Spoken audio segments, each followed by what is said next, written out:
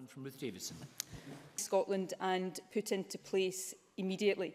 Uh, there is an increased police presence around our major conurbation. Uh, let me express, on behalf of the Chamber and our country, my shock and sadness at the heinous attack on Westminster yesterday afternoon. We send our heartfelt condolences to those who have lost loved ones and our thoughts to all those who sustained injuries. Terrorists seek to undermine our values, and destroy our way of life. They will not succeed. Whatever our disagreements, in this chamber or any other, we stand united in our core values of democracy, human rights and the rule of law. These values are strong and they will endure.